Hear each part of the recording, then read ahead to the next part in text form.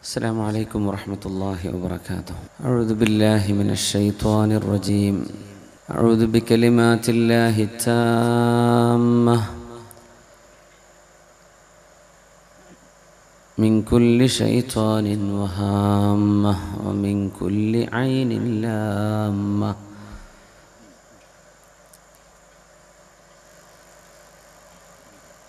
بسم الله الذي لا يضر مع اسمه شيء في الأرض ولا في السماء وهو السميع العليم. الحمد لله الحمد لله ملء السماوات وملء الأرض وملء ما شاء من شيء بعد.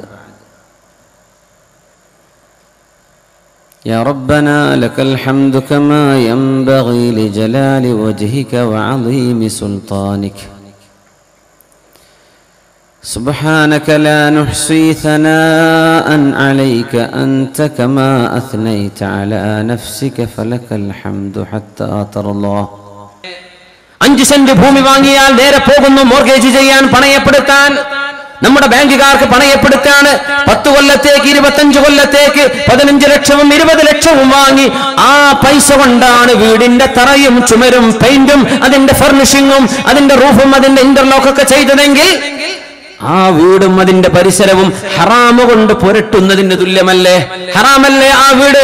ആ വീടിന്റെ ഉള്ളിൽ പിന്നെ നല്ല മക്കളുണ്ടാകോ ആ വീടിന്റെ ഉള്ളിൽ നിന്ന് അള്ളാഹുന് തഹജ് നിസ്കരിക്കാൻ തോഫീക്കുണ്ടാവോ?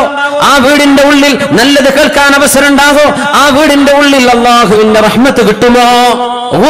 ഹറാം. തിന്നുന്നതും കുടിക്കുന്നതും ചെയ്യുന്നതും എല്ലാം ഹറാം. ഒരു സൽക്കാരം ഉണ്ടാണെങ്കിൽ ഒരു സൽക്കാരം സദ്യ വെക്കണമെങ്കിൽ അപ്പൊ കൊണ്ടുപോയി പണയപ്പെടുത്തി സ്വർണം. ഭർത്താവിന്റെ പൈസ വരാൻ ഒരാഴ്ച സമയെടുക്കും തൽക്കാലം. ഒന്ന് കാത്തിരുന്നാലോ? സമയമല്ല തിരക്കാണ്. അപ്പോഴേക്കും പണയപ്പെടുത്തി. ഇങ്ങനെ തൊട്ടതിനും പിടിച്ചതിനും പണയവും പണയത്തിന്മേൽ പണയവുമായി നമ്മൾ ചെയ്യുന്ന ഹറാമുകളൊക്കെ നിസ്സാരമായി കാണല്ല മുമ്മിനെ ഇത് അള്ളാഹുവിന്റെ മുമ്പിൽ ഗൗരവമാണ്.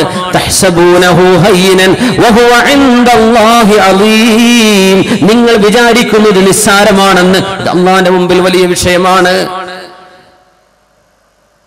അല്ലദീന യക്കുലൂന റിബ لا يقومون إلا كما يقوم الذي يتخبطه الشيطان من المس പിശാച്ച് ബാധ ഏറ്റവനെ പോലെ നാളെ ആടി ഭ്രാന്ത് പിടിച്ചു വരുന്ന ആളുകൾ ഭൂമിയിൽ പലിശ നിന്നവരാണെന്ന് അള്ളാഹു നാളെ കാണിച്ചു തരും ബിസിനസ് തുടങ്ങാൻ പലിശക്ക് ലോൺ എടുക്കല്ല ഒരു സ്വർണം പണയം വെച്ച് ചെയ്യുന്നതിനേക്കാളും ഹൈർ അത് വിറ്റിട്ട് ആ പൈസ കൊണ്ട് തുടങ്ങലാണ് അതിൽ അള്ളാഹു ബറക്കത്ത് തരും അതിൽ അള്ളാഹു ഐശ്വര്യം തരും. ആ പൈസ അള്ളാഹ് പൊരുത്തമാണ് അക്കിട്ടുന്ന ലാഭം അള്ളാഹുവിന് പൊരുത്തമാണ്. നമ്മുടെ കഴിഞ്ഞ കാലങ്ങളിൽ സംഭവിച്ച തെറ്റുകളെല്ലാം അള്ളാഹു നമുക്ക് പുറത്തു തരട്ടെ. അള്ളാഹു മാപ്പ് തരട്ടെ അള്ളാഹു പുറത്തു തരട്ടെ. നമ്മൾ കയറ്റി വെച്ച വീടുകളിൽ പൊളിക്കാൻ വയ്യല്ലോ. അള്ളാഹുവിനോട് പൊറുക്കല്ല ചോദിക്കും നമ്മൾ ഓടിച്ചുകൊണ്ടിരുന്ന വാഹനങ്ങൾ ഇനി എന്ത് ചെയ്യാൻ പറ്റും? അള്ളാഹു പുറത്തു തരട്ടെ. ഇനി അങ്ങോട്ട് ചെയ്യല്ലേ? ഉള്ളത് മുഴുവനും ഒഴിവാക്. അള്ളാഹുവിന് വേണ്ടി അനുസരിക്ക്. അള്ളാഹുവേ നിന്റെ അടിമയാണ്. നിനക്ക് അഭൂതീയത്തിലാണെന്ന് പറയ്. നിനക്ക് ഞാൻ അനുസരിച്ചു പടച്ചവനെ എന്ന് പറഞ്ഞ് അള്ളാഹുവിന്റെ അനുസരണയിലേക്ക് മടങ്ങാൻ സമയമായിട്ടുണ്ട്.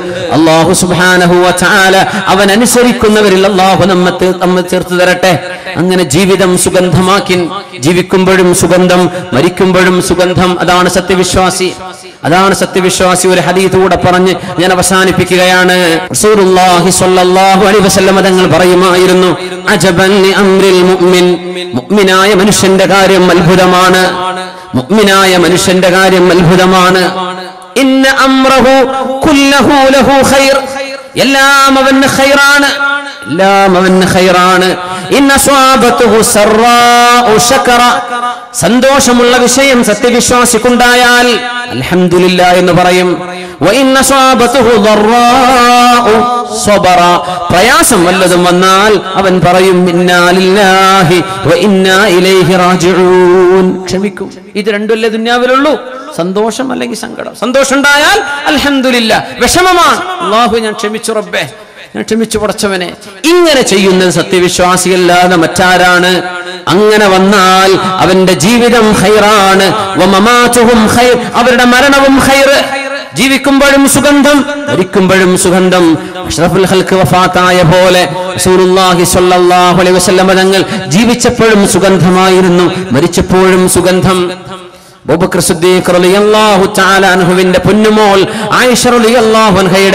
വീട്ടിലാണ് ഹബീബ് കിടക്കുന്നത് ഈ ലോകത്തിന്റെ റഹ്മത്തായി വന്ന നബി നമുക്ക് സ്വർഗം കിട്ടാനുള്ള വഴി പറഞ്ഞു തരാൻ വന്ന നബി ഇതിലെ പോവല്ലേ ആ വഴി റോങ് ആണ്. അതിലെ പോവല്ലേ അവിടെ കുടിയുണ്ട്. ഇതിലെ പോവല്ലേ അവിടെ പാലം പൊളിഞ്ഞു വന്നിട്ടുണ്ട് നീ ഇതിലെ പോയിക്കോ. ഇതാണ് സ്ട്രൈറ്റ് എന്ന് നമുക്ക് വേർതിരിച്ചു പറഞ്ഞു തരാൻ വന്ന നബിയല്ലേ. റഹ്മത്തുല്ലിൽ ആലമീൻ മുഹമ്മദ് നമുക്ക് റഹ്മത്തല്ലേ നബി? അള്ളാഹുവിന്റെ ഹബീബ് റഹ്മത്തല്ലേ?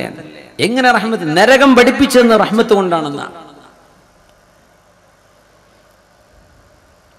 നരകം പഠിപ്പിച്ചു തന്നത് അള്ളാഹുവിന്റെ റഹ്മത്താണ് അതുകൊണ്ടാണ് അള്ളാഹു ചാല നരകത്തിന്റെ വിശേഷണങ്ങൾ പറഞ്ഞിട്ട് يرسل عليكما شواظ من نار ونحاس فلا تنتصران എന്ന് തുടങ്ങി സൂറത്ത് റഹ്മാനിലൂടെ അങ്ങനെ വന്നാൽ അല്ലാഹു സുബ്ഹാനഹു വതആല നരകത്തിന്റെ ഡിസ്ക്രിപ്ഷൻ തന്നിട്ട് അവിടെയും അല്ലാഹു പറയുന്നുണ്ട് ഫബി ഐ ആലാ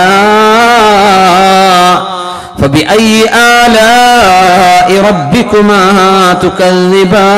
تكذبان അള്ളാഹുവിന്റെ ഏത് ദൃഷ്ടാന്തമാണ് നിങ്ങൾ നിഷേധിക്കുന്നത് അള്ളാഹുവിന്റെ ദൃഷ്ടാന്തങ്ങൾ ഓരോന്നോരോന്നായി പറഞ്ഞു തന്നിട്ട് ഇതൊക്കെ നിങ്ങൾ നിഷേധിക്കുന്നുണ്ടോ നിങ്ങൾക്ക് കഴിയോ നിഷേധി നിഷേധിക്കാൻ എന്നിങ്ങനെ ചോദിച്ച് അള്ളാഹു സുബാനഹുവത്താല നരകത്തിന്റെ വിശേഷണങ്ങൾ പറയുന്നുണ്ട് സ്വർഗമെല്ലാം പറഞ്ഞതിന്റെ ശേഷം സ്വർഗത്ത് ഹാദിഹി ജഹന്നമുല്ലതി هذه جهنم التي يكذب بها المجرمون يطوفون بينها وبين حميم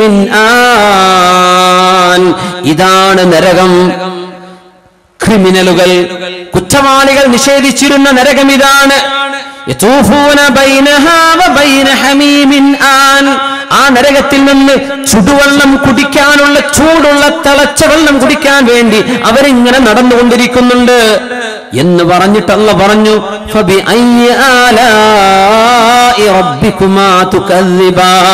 അള്ളാഹുവിന്റെ ഏത് ദൃഷ്ടാന്തമാണ് നിങ്ങൾ നിഷേധിക്കുന്നത്? എന്ത് നിയമത്താണ് നിങ്ങൾ നിഷേധിക്കുന്നത്? അപ്പൊ ഒരാൾ ചോദിക്കാൻ പടച്ചോനെ നരകം പറഞ്ഞത് അള്ളാന്റെ നിയമത്തല്ലല്ലോ. നരകം പറഞ്ഞിട്ട് പിന്നെ അള്ളാന്റെ നിയമത്ത് എന്താ നിഷേധിക്കുന്നത് നരകം എങ്ങനെ നിയമത്തായത്? അതിലുദാഹരണം നമ്മൾ പകലടന്ന് പൊന്നാനി വഴി പോവുക ചമ്രവട്ടം വഴി പോവുക അത് ഉദ്ദേശിക്കുക. ഞങ്ങളിപ്പോൾ ഇന്ന് രാത്രി പോകാനുള്ളതാ. രാത്രി യാത്ര പോവാണ്. ഒരാൾ പറഞ്ഞു ഇതിലെ പോയിക്കോ? ഒരാൾ പറഞ്ഞു ഹൈവേ കുറ്റിപ്പുറം വഴി പോയിക്കോ? നമ്മൾ ഏതോ ഒരാൾ പറഞ്ഞ് കേട്ടുപോയി. ചെന്ന് നോക്കുമ്പോൾ വലിയൊരു കുണ്ടിൽ ചെന്ന് ചാടിയെന്ന് വിചാരിക്കുക. വേറൊരാൾ പറഞ്ഞു നിങ്ങൾ ഈ വഴിക്ക് പോയാലേ തീരദേശ റോഡ് വർക്ക് നടക്കുന്നുണ്ട്. അവിടെ കുറച്ച് പാലം പണിയൊക്കെ ഉണ്ട്. നിങ്ങൾ അതിൽ പോയാൽ ഈ രാത്രി സമയം ബുദ്ധിമുട്ടാവേ. നിങ്ങൾ ആ കുറ്റിപ്പുറം റൂട്ടിന് പോയിക്കോളി. ഇവിടെ കുണ്ടും കുഴി ഉണ്ട് എന്ന് പറഞ്ഞത് റഹ്മത്താണോ അല്ലയോ? റഹ്മത്തല്ലേ? ഇതിൽ പോയാൽ കുഴിണ്ട് എന്ന് പറഞ്ഞത് റഹ്മത്തല്ലേ? നിങ്ങൾ ഇങ്ങനെ പോയാൽ നരകമാണ് നിങ്ങൾക്ക് കിട്ടാൻ പോകുന്നതെന്ന് ഇവിടെ തന്നെ പറഞ്ഞു തന്നത്. അള്ളാഹു ചെയ്ത റഹ്മത്തല്ലേ? അള്ളാഹു ചെയ്ത റഹ്മത്തല്ലേ? നിങ്ങൾ ഇത് ചെയ്താൽ ശിക്ഷ കിട്ടും എന്ന് ആദ്യം പറഞ്ഞത് ഒന്നും അറിയില്ലായിരുന്നു പിന്നെ ആ ശിക്ഷ കാണുന്നത്. ഞാൻ അറിഞ്ഞില്ല അങ്ങനെയല്ല. ആദ്യം പറഞ്ഞു തരാണ് പഠിച്ചോ ഇങ്ങനെയൊക്കെയാണ് വഴി ഇതിലൊക്കെയാണ് നേർവഴി. പിന്നെ കുണ്ടും കുഴിയൊക്കെ അവിടെ ശ്രദ്ധിച്ചു പോണം. ഇത് പഠിപ്പിച്ചു തരാണ് അള്ളാഹു. എന്നിട്ട് പറയുന്നത് റഹ്മത്തല്ലേ? അള്ളാഹിന്റെ റഹ്മത്ത് നിങ്ങൾ നിഷേധിക്കുകയാണോ? ഹബീബ് ഇതൊക്കെ പഠിപ്പിച്ചു തന്നില്ലേ? സൊല്ലാഹു അലൈഹി വസല്ലം. നമ്മളെ നോക്കിയിട്ടാണ് അവിടുന്ന് പറഞ്ഞത് കുഞ്ചും ഖൈറ ഉമ്മ. നിങ്ങൾ ഏറ്റവും നല്ല സമൂഹമാവണം. അള്ളാഹുവിനനുസരിക്കുന്നവര് അവന്റെ ഹബീബിനനുസരിക്കുന്നവർ നിങ്ങൾ നല്ല സമൂഹമാണ്.